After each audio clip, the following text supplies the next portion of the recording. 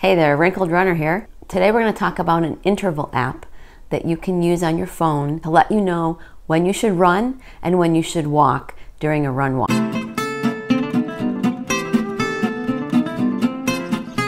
Good, especially if you're a beginner runner, if you're getting back into running, or if you want to go a longer distance than you have in the past, you can go that distance while running and walking to give yourself a break. It's called Intervals, and I have it on my Apple phone. I'm an Apple girl, and so all my apps are Apple apps. And I know there are other ones that you can get for Androids or Windows phones.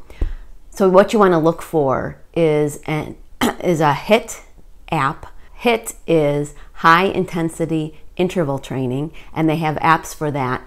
Um, people use it to go really hard or really fast in a certain exercise, and then it will tell them when to stop that exercise, take a rest, and then start that exercise again. But for a runner, you can use that as the run walk uh, prompt. So you're going to want to look for intervals in the App Store if you have an iPhone.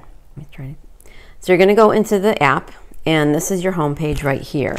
You're going to go down to the menu button, add new timer, and you can see they have some pre-configured workouts in here already. And one is a, a walk run workout. So if you hit that, you're going to go down to the run because you're going to want to do it for more than a minute probably. So we're going to use an example of an eight minute run with a two minute walk, which would be a total cycle time of 10 minutes. So you're going to scroll down to the eight minute, use the check mark at the bottom to make sure that it does it. Then you're going to go back, hit the walk, and you're going to do the duration for two minutes for that. Now when you're when you're back into the workout, you're going to scroll down, no rest in between. Number of cycles, this has six already. So the six cycles with the 10 minutes is going to be an hour run walk. This actually, I don't know why. There we go should be just two minutes. Okay, so that is for a run walk. The other way I like to use this app is as a fuel prompter on my long runs.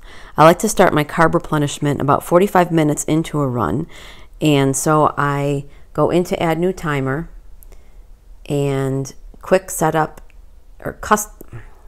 I go into add new timer and then custom interval timer. So what I want to do is for the first interval, interval one, I'm going to go 45 minutes. Because I, will already be carbo fueled for the long run for my breakfast or my lunch or whatever I've done. So I don't start the carb load until about 45 minutes in. So that's my duration for interval one. For interval two, then, after that, I want to take in gummy bears or my Noka superfood pouch or it, or Clif Bloks for every 15 minutes after that usually.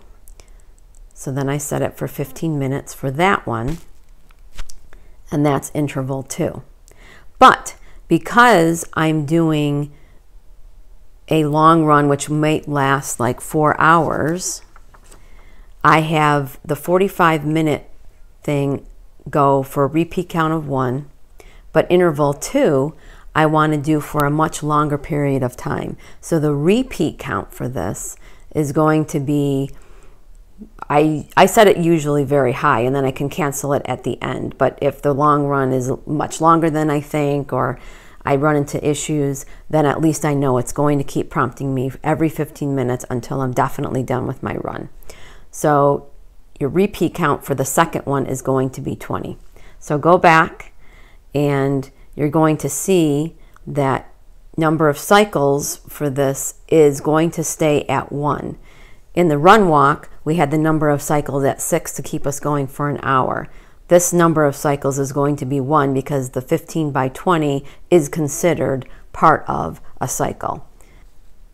So that's how you use it as a fuel prompt so the paid version is $4.99 and with the paid version you can put in as many in, uh, timers as you want to. So I have a walk run set up, I have my fuel prompting one set up. In the free version, you can only do one at a time, so you're going to have to reset it each time. But I have found that the free version works really well, and I used that for a long time before I upgraded to the paid version. It also works with your Apple Watch, and so as you're running, those prompts will come through as the haptics, uh, the little bump on your wrist, which works really well. It also integrates with your workout app on the watch so you can have both of them running at the same time. In order to do that though, you need to do something in the app so that it doesn't override your workout app. And this is how you do that. Okay, so from your home page, you're going to go to the edit section and you're going to go down to the running under Apple Health. And you're going to scroll all the way down to here and you want disable fitness tracking set to the green. That way you'll be able to use this app and your Apple workout at the same time. So I really like this app for run walks and for fuel prompting and I highly recommend it. You can also find other interval apps that would probably work just as well for you. So don't forget to click subscribe down below. I'll put a link down below to the post over on wrinkledrunner.com if you'd like to see pictures of it and the explanation in text form.